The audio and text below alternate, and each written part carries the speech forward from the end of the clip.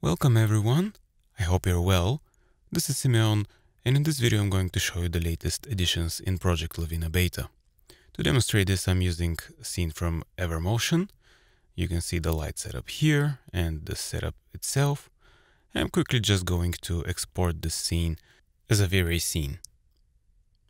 Now once in Lavina, the scene has been loaded and to speed up the frame rate I might reduce the resolution, but I would like to avoid this if possible, so I'm going to keep it higher and let's take a look at some of the optimizations that we can do to speed up the frame rate. In the render tab, I'm just going to start uh, lowering some of the bounces. Let's first see the refraction effect of the scene. Okay, so I'm going to slowly reduce that and up to the point where I see uh, some artifacts or uh, significant change. And the same goes for the reflections and the GI. Uh, so yes, with one bounce, it works nicely. I can also turn off the shading graph, which will simplify the materials. And in this case, it works without losing any fidelity. If I get closer to the leaves here, you'll see that there is no opacity. So let's turn this on and bring back the cutout. And let's explore the scene now a little bit. Let's turn off the depth of field. Let's have a look at some of the shortcuts I'm going to be utilizing. First one is going to be the roll camera. Uh, it's control middle mouse button. And then uh, the level the camera, which is X, and the movement shortcuts for WASD. Let's straighten up this uh, building here by pressing the X button, which will level up the camera, and move it a bit uh, upward so that we can see the sky once more. All right. And maybe get the, the camera a bit darker, but instead of using the global exposure, I'm going to use the shutter speed. So 50% uh, more and save this as a camera. Now the physical camera has been exposed in this version and uh, let's adjust the white balance. I'm using pinkish color because the HDRI in this scene casts uh, this tint and I'm compensating for this in the physical camera. Another thing that we can do is uh, start exploring the scene by using the tilde key. And let's find a few viewpoints and camera presets for the scene. All right. Let's move around. Sensitivity of my mouse is currently very low, so I'm going to increase that uh, from the options to 1. All right, that's much better. Okay, and uh, store a few cameras. So I'm going to do a walkthrough to here, store this uh, level at first and store it as another camera. So that would be the first part of the animation that I'm going to do. And for that, I'm going to use the animation editor um, and drag and drop the cameras from the list as clips on the timeline. So drag that, drag this one right after it, and I'm going to Alt and scroll to zoom out. Now I have just uh, no interpolation, so let's add a transition after this clip. I'm going to set the default duration to 2 and the snapping at 0.2 so that I can snap while resizing the clips and uh, the transitions. All right. So this looks good, but let's apply an easing by selecting out Quad. Much better. Right, let's use the in and out for easing at both ends, the beginning and the end. I'm going to set the duration to uh, 10 seconds.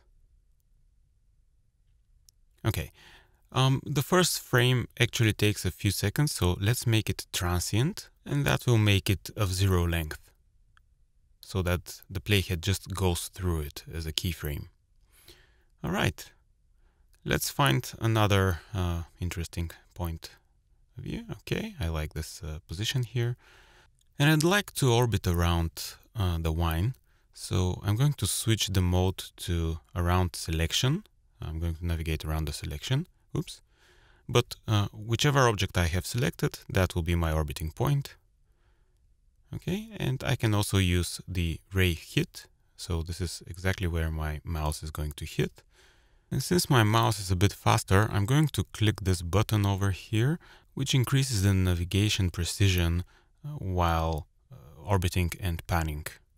You can see I have much finer control over my point of view. Let's adjust the focal length a bit. Okay.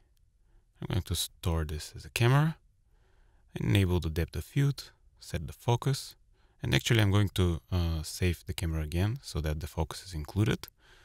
And I'm going to orbit around and change the focus at the same time uh, on the sign here. So let's set up another keyframe and adjust the focus distance accordingly. Okay, let's do an animation now, drag the clips, and also I'll make the this keyframe here transient. Okay, we have now a clear cut between the two cameras. Add transition before the, the last one. Uh, make this guy transient as well. And let's scrub and preview the animation.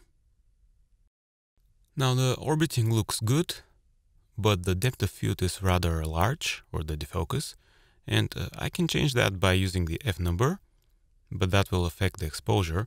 So I'm going to just enable the aperture size here, which will not affect the exposure, and control the defocus amount. Let's store this in the camera views again for each one. Okay, aperture size, store. Timeline clips are going to be automatically updated with the new values of the defocus. To illustrate the camera roll, I'm going to find a better position, so somewhere around the bulbs. I forgot to turn off the mouse sensitivity button. Okay. So this works good. Now level the camera and I'm going to start rolling by holding control and dragging with the middle mouse button. Alright, as you can see, the there is a snapping distance, which is uh, 10 degrees at, uh, the, at the moment. I'm going to increase that to show you what it looks like uh, with 20. So the way it works is if the camera roll falls within uh, 20 degrees from the horizon, it will snap back to horizontal position.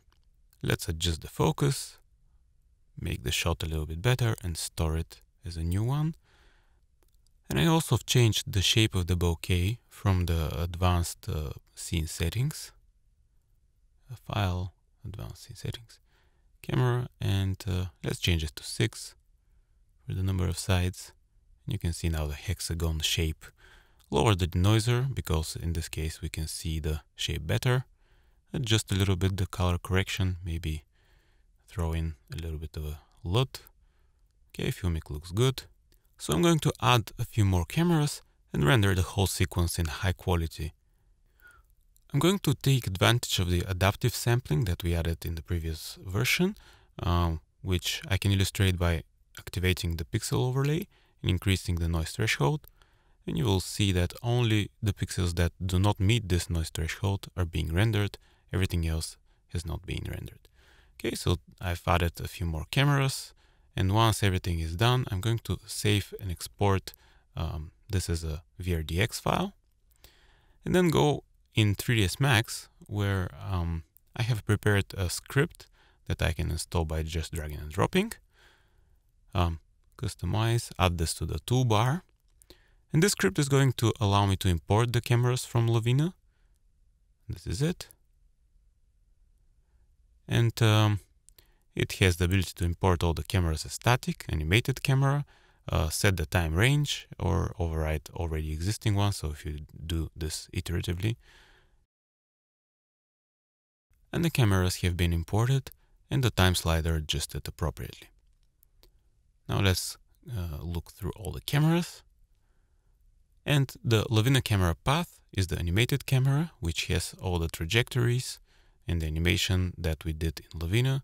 So you can go ahead and refine or render with high quality the already created animation directly from 3ds Max.